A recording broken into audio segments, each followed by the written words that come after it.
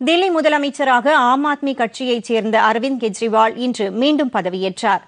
பிற்பகல் தில்லி ராம்லீலா மைதானத்தில் நடைபெற்ற பதவியேற்பு விழாவில் தில்லி துணைநிலை ஆளுநர் அனில் பைஜால் கெஜ்ரிவாலுக்கு பதவி பிரமாணமும் ரகசிய காப்பு பிரமாணமும் செய்து வைத்தார்.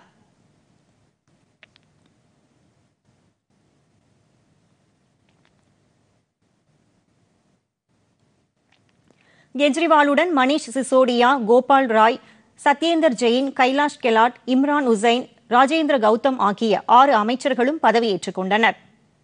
பதவியேற்ற பின்னர் மக்கள் மத்தியில் பேசிய முதலமைச்சர் கெஜ்ரிவால் சாதி மத பேதமின்றி தில்லி மக்களுக்காக அடுத்த ஐந்து ஆண்டுகளுக்கு தமது அரசு பாடுபடும் என்றார். நாட்டுக்கே தில்லி ஒரு உதாரணமாக உள்ளதாக கூறிய அவர் கடந்த ஐந்து ஆண்டுகளிலும் தமது அரசு மிகச்சிறப்பாக பணியாற்றியதாக தெரிவித்தார். தில்லியை மிகச்சிறந்த நகரமாக மாற்ற மத்திய அரசுடன் இணைந்து செயல்பட விரும்புவதாகவும் கெஜ்ரிவால் கூறினார்.